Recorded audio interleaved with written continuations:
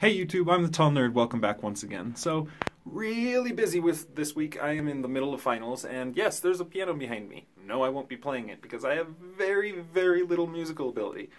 Uh, more importantly, yeah, finals. So I've been thinking a lot about uh, lots of stuff, mostly related to classes.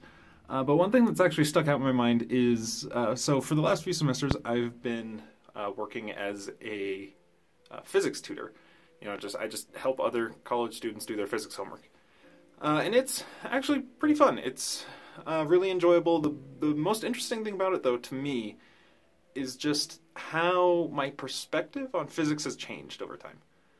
Because uh, I feel like everybody's been in a class once or twice where they, you know, you get back a test and you didn't do as well as you were hoping, and you look at the reasons why you lost points, and a few of them are just like, oh, that's so stupid. You know, it's it's just it's such a tiny little thing. Why couldn't they just let it pass?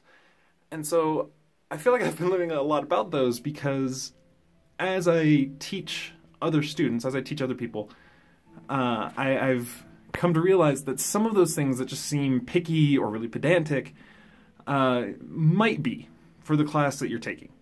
You know, it might be a bit too specific, or the distinction between two concepts might be you know, really too small to bother with for the class that you're in. But a lot of times those distinctions become really, really important later on, which is why you get marked down for it, because it's much more it's much easier to just get the difference into your head now than to worry about it farther down the line when you're trying to integrate it into more difficult concepts. Uh, so, yeah, that's that's just kind of a thought that I had. Also, I saw Star Wars. I loved it. I thought it was really fun. Uh, yeah, if you don't like it, sorry. I just want to do a quick little sort of update video.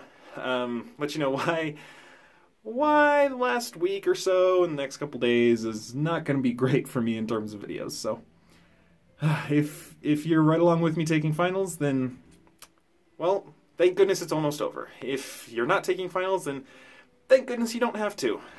Either way, have a great day.